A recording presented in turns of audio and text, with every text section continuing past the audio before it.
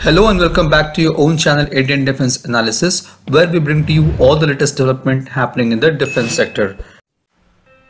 During the recent Russia-Ukraine conflict, we have seen Russia heavily relying on its unguided bombs. The unguided munitions lack the precision which causes heavy collateral damage which limits Russian Air Force capability to provide close air support for their forces. Therefore, in absence of guided munitions and standoff bombs, the Russian Air Force are flying low for bombing, making them an easy target for Ukrainian manpads air-to-air launched missiles. Therefore, the guided munitions or the unguided bombs, which are much cheaper, becomes very much important in modern day warfare where bombing is required with precision from a long standoff distance. Now, in today's video, we will be discussing in detail about the long-range standoff weapon delivery capabilities of LCA Tejas. So as we know that Indian Air Force is converting its air-dropped unguided bombs into a precision bomb which can be dropped from a range of 80 km with the help of American JDAM or Joint Direct Attack Munition. It is a tail guidance kit that converts the unguided free fall bombs into accurate adverse weather smart munition with the addition of new tail section that contains an inertial navigation system and a GPS guidance control unit, JDAM improves the accuracy of unguided general purpose bombs into a guided and accurate bomb. It uses 500,000 or 2000 pound warhead as the payload. Once released from aircraft, the JDAM autonomously navigates to the designated target coordinates.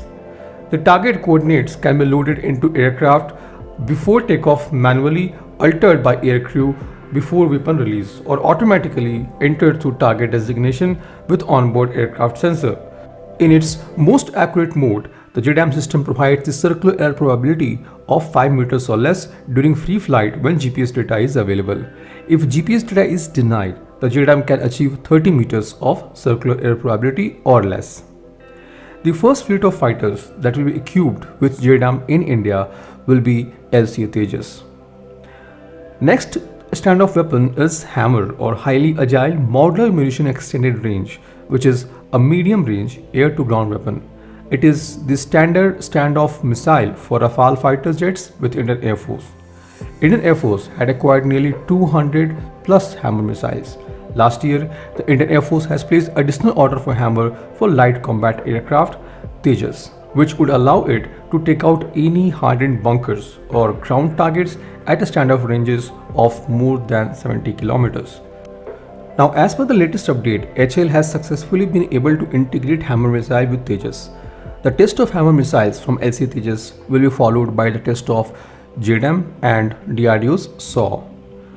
The missile has two versions based on a type of guidance system which is being used. First version is a hybrid inertial or GPS in decameter all-weather version and second one has hybrid inertial or GPS plus infrared homing or SALH in metric day or night version.